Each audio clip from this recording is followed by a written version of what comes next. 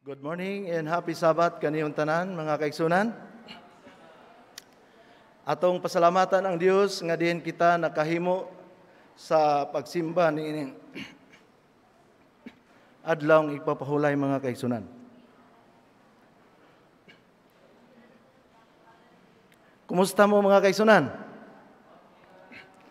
Taliwala sa in spite sa mga situations aniya gyapon ta mga kaigsunan alang sa paghimo sa pagdaig sa atong buhi nga Dios. Og nining kabuntagon kita maga-review sa lesson nga atong natun-an diha sa panimalay o kini ato nga ma-overview ni ining kabuntagon.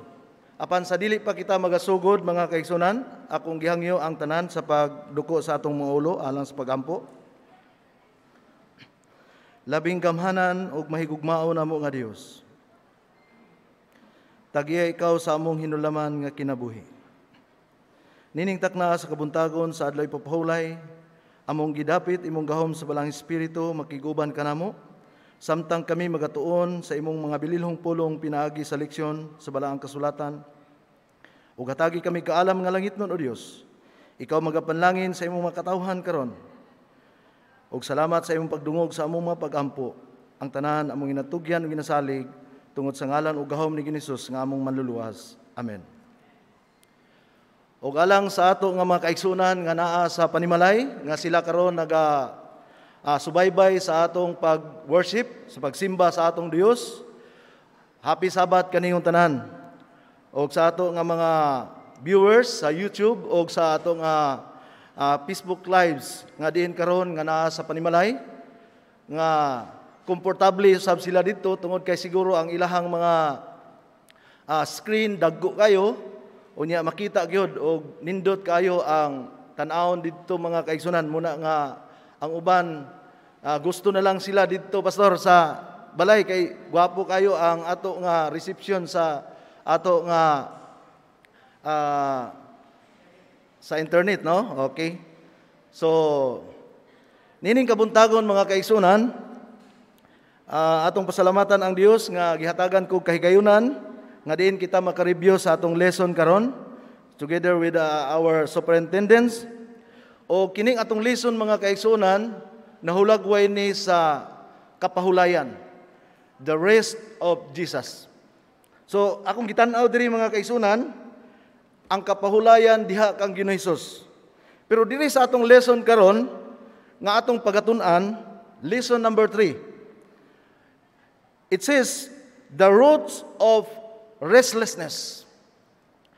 Akong gitan-aw mga kaigsunan kini nga atong lesson dunay gamot sa walay kapahulayan. So sa si, si Buano pa ni mga kaigsunan akong gitan-aw. Ang gamot sa walay kapahulayan nganong gihulagway man sa atong lesson mga kaigsunan nga the root of restlessness. Ako yung gibalik-balik ug basa mga kaigsunan kay pinagi sa pagtabang sa gahom sa balang espiritu nga naman gyud nga do na may roots of restlessness. Ang gamot sa walay kapahulayan. Sumala pa din hi mga kaigsunan, ako na lang Nagingon diri sa atong lesson. Sa ato nga memory text, James chapter 3 verse 6, 16. For where jealousy and selfish ambition exist, there will be disorder and every vile practice. But pasabot mga kaigsunan, kundin gani ana ang kasina ug ang paninguha alang sa kaugalingong kaayuhan lamang, ana usab ang kasamok ug ang tanang matang sa daotang buhat. So akong gitan-aw sa ato nga uh, version dinhi sa teksto mga kaigsunan, dunay hulagway sa atong lesson nga nindot kayo nga kuaan nato og gulagway katong the aspens as a beautiful trees. Kining aspens mga kaigsunan nga kahoy mo reach kini siya sa reaching 45 to 90 feet and 15 to 30 meters in height. Taas ni siya mga kaigsunan. Gihulagway sa atong lesson karon mga kaigsunan. Kining hulagway sa usa ka beautiful aspen aspen trees. Kay nga naman, kining aspen trees mga kaigsunan, aspen trees can live up to 150 years. And the larger organism kana bang iyahang mga gamot mga kaigsunan below the ground can live for a thousand years. Grabe kayo mga kaigsunan. So, ang atong lesson gihulagway dinhi karon mahitungod nining aspen trees mga kaigsunan. A beautiful trees.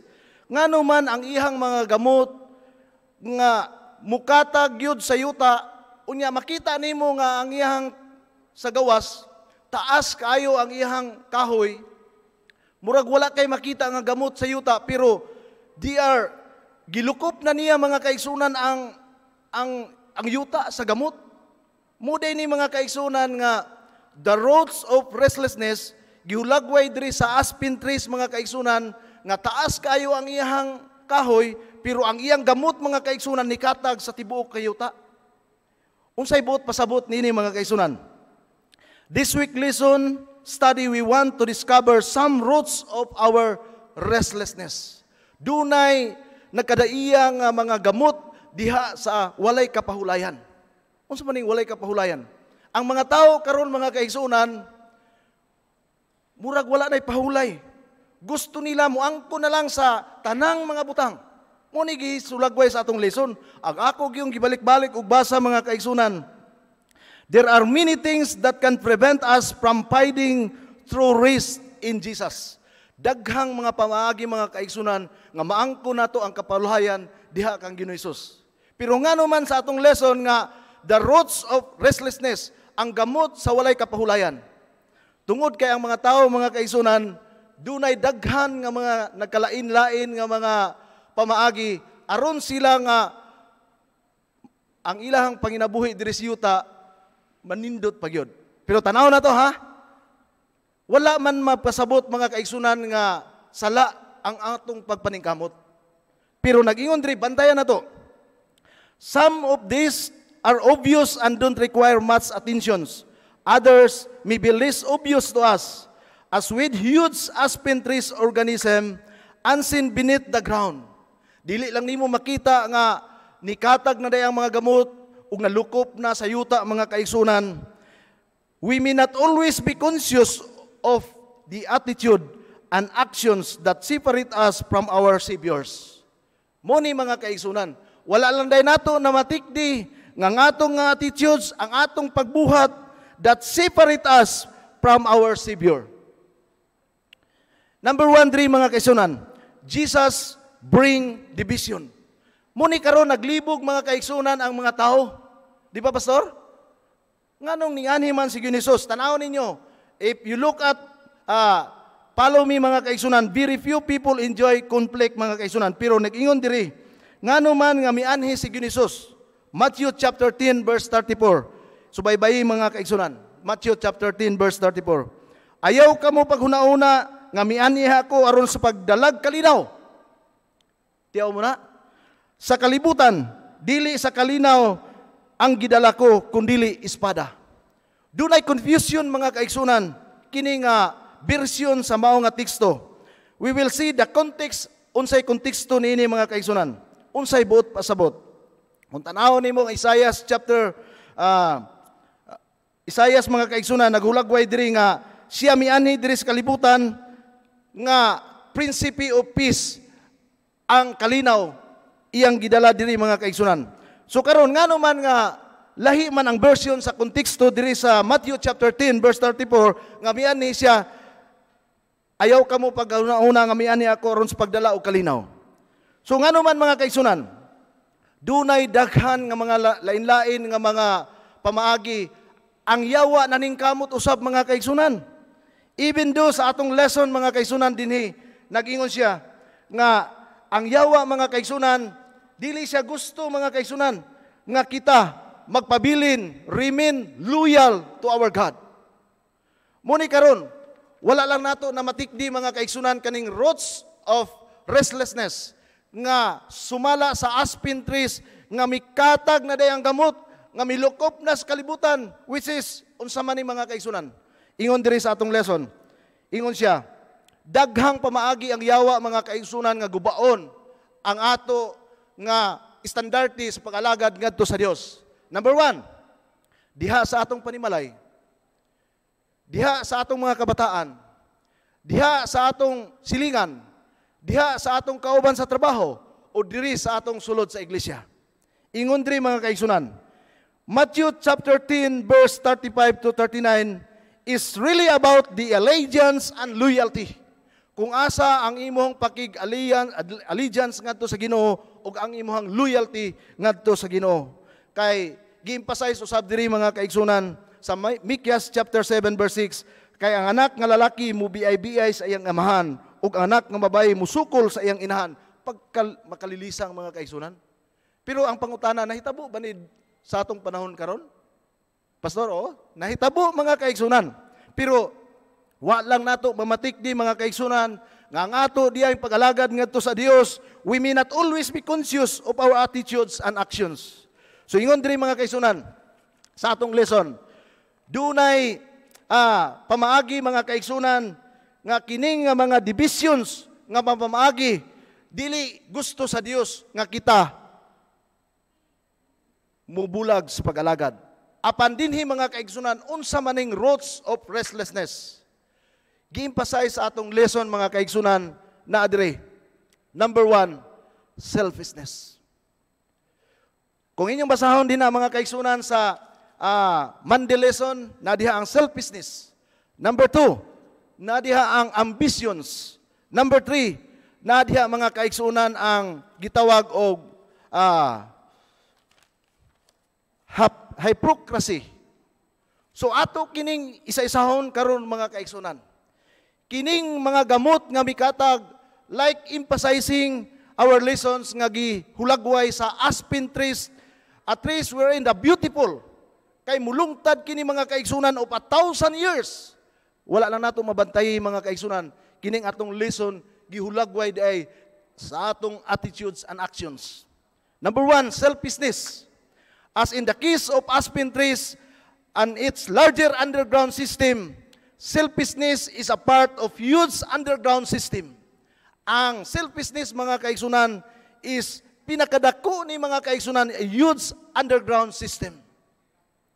Called, gitawag kini siya mga kaigsunan, sala, in which keep us from finding true rest in Jesus.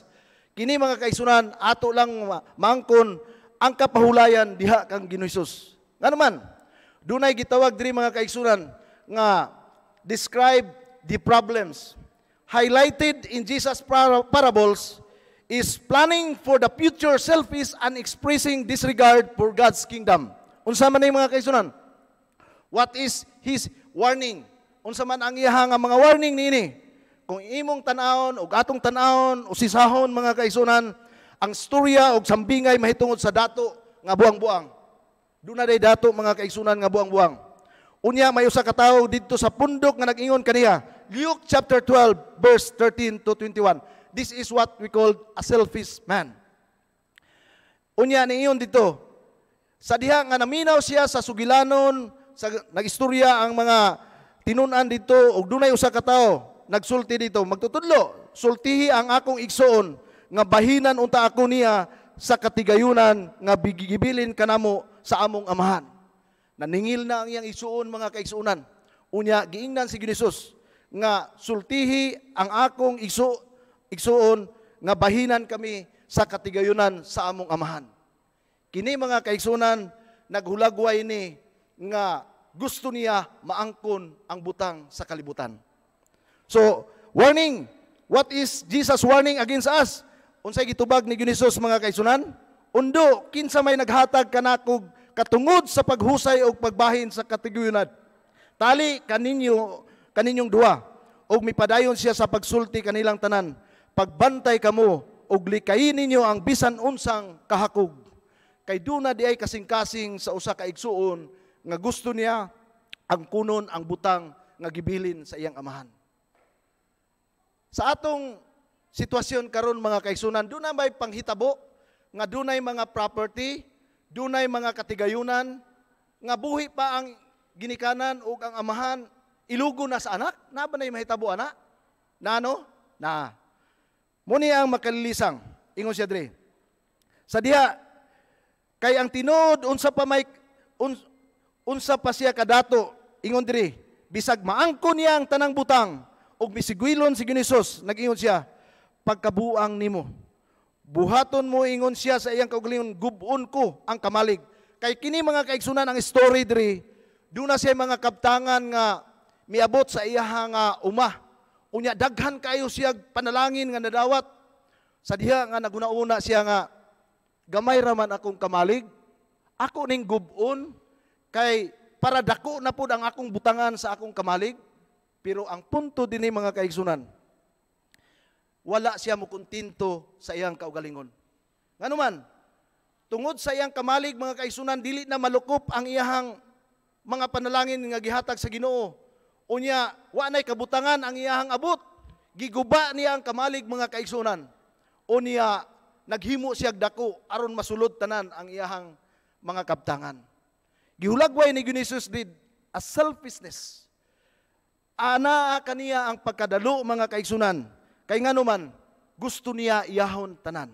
Pero nag-ingon siya dre, Kini mao ang akong buhaton miingon siya sa iyang kaugalingon matud pa sa usa ka dato. Unya dako naman mga kaigsunan sa bersikulo 19, unya miingon ako sa akong kaugalingon pagkapalaran nimo undo anaa kanimo ang tanang butang nga imong gikinahanglan alang sa daghang katuigan pagkahayahay na lang yun kaon inom og paglipay Luke chapter 12 verse 19 mga kisunan kaon inom paglipay. Nana niya mga kisunan apan ang Dios mingon kaniya buang niini gayong kining tawhana. Niini gayong gabi na ikaw mamatay. Unya kinsa pa may makapanag-iyan ining tanang butang nga imong gitigom alang sa imong kaugalingon? Kini mga kaigsunan naghulagway ni sa selfishness. Nga naman. Tungod kay kung maangko nato ang tanang butang sa kalibutan, unyag mamatay ka, kinsa may mag kinsa may magkuha ni ana. Wala mga kaigsunan. Ug mitapos si Jesus pag-ingon mao kini ang mahitabo kanila, magtigom kamo og mga bandi alang sa ilang kagulingon apan dili kamo dato atubangan sa Dios. Kinig di ay mga kaigsunan, kining ang gamot mga kaigsunan nga mikatag na tungod kay wa lang nato mamatikdi nga ang atong kaugalingon gyud atong giuna. Dili na ang Ginoo. So what is the key is found. Unsa may key mga kaigsunan susi nini. Gisulob niya ang kinaiya sa usa ka sulugoon ug nagpaubos siya og nagmasinugtanon.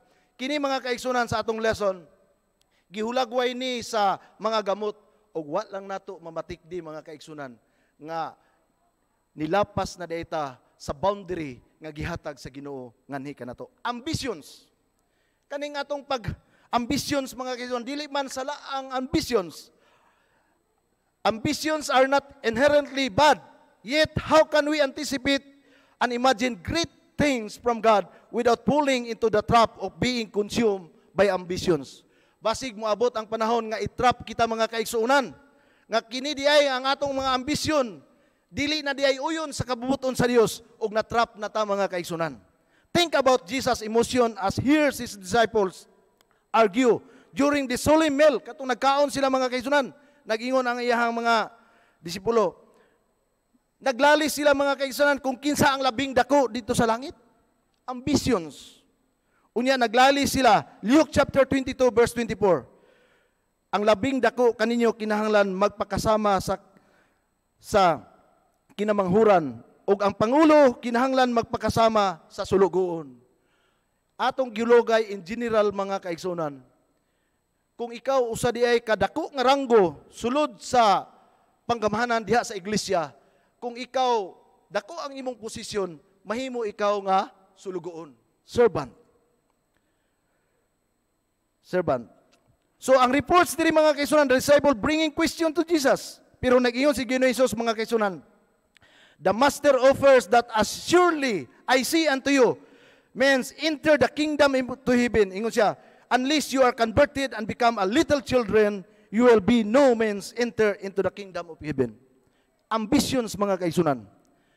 Kung walay conversion mga kaigsunan, dili nato maangkon ang gihatag sa Dios nga gingharian.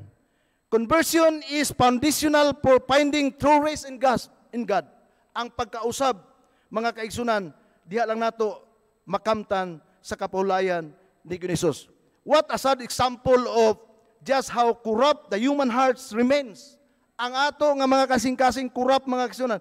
In more positive side, however, think about the ever-present reality of the Lord's grace. Tanaw na to ang uh, offer niya mga kaigsunan pinagi sa iyang grasya that despite this pathetic discussion among his followers, Jesus did not give up in them. This, Jesus did not give up in them. Kining mga ambitions mga kaisunan. Mo ni ang giulagway sa atong lesson usa sa mga giulagway sa atong lessons nga the roots of restlessness. Number one, selfishness. Number two, ambitions. And number three, mga kaisunan, hypocrisy. Unsa man ning hypocrisy, mga kaisunan? Pagtulunan nga kini mga kaisunan usa ka uh, hipokrito. Giulagway diri sa atong lesson pagtulunan mahitungod sa kaluoy. Dunay mga tao nga mo hatag sila sa taong kabus apan ayaw ipasigarbo ang imong gibuhat kay mahimo niya ikaw hambugiro sulod diha sa sinaguga o sa mga kadalanan. Kanang muhatag dieta mga kaigsunan mas may pang muhatag nga wala makabalo. Kay muhatag tag ipakita na to aron maila ta nga kwartahan gyud ni si brother. Oh. O niya ang pag-ampo usab mga kaigsunan. Dili kinahanglan mag-ampo og taas. Ingon diri, mo ning mga hipokrito, ang pagtulunan usab mahitungod sa pagpuasa. Kini tanan gigathered mga kaigsunan ug ang pagtulunan usab ngadto sa paghukom. Gi-emphasize diri sa Matthew kapitulo 7 bersikulo 1 ug 6. Ayaw kamo paghukom sa uban kay hukman kamo sa Dios ingon nga paghukom ninyo sa uban.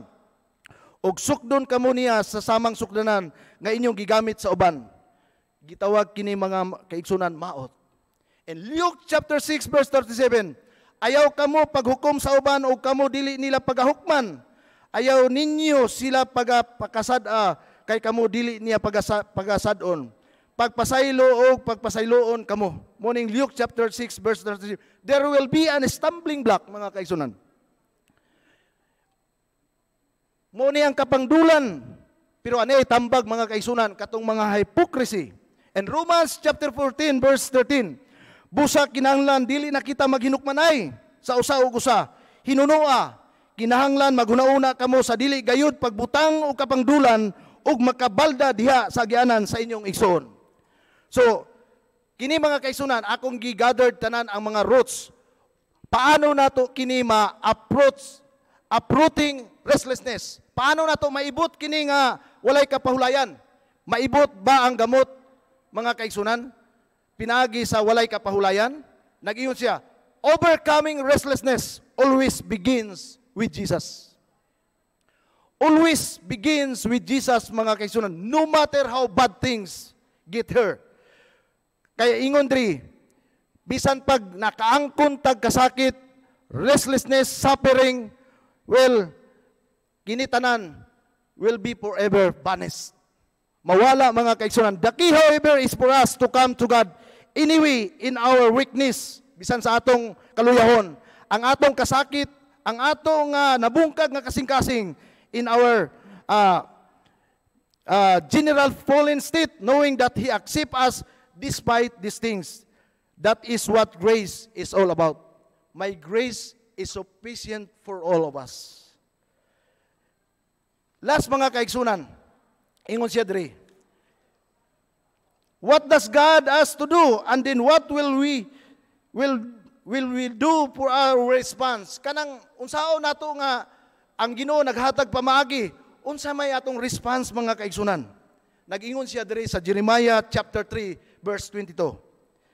Balik kamong tanan nga mitalikod sa Ginoo og ayuhon og himuon niya kamong buutan. Pagkanindot mga kaigsunan, ang gihatag nga pamaagi og kanang way sa Ginoo nga kitang tanan himuon tang buutan nga tanan ug mobalik ngadto sa niya.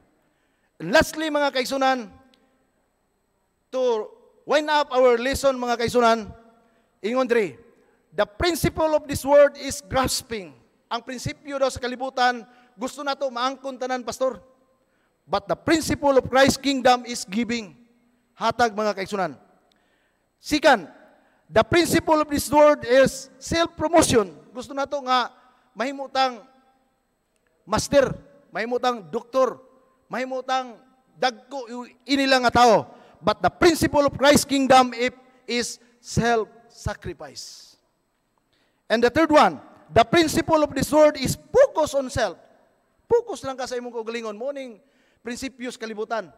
Sir, ah, ah, pero nag-ingon diri, the principle of Christ kingdom is focus on others. Ato usab tan-awon ang uban. No? So, Christ was establishing the kingdom on different principle. But ingon si Ellen White mga kaisunan.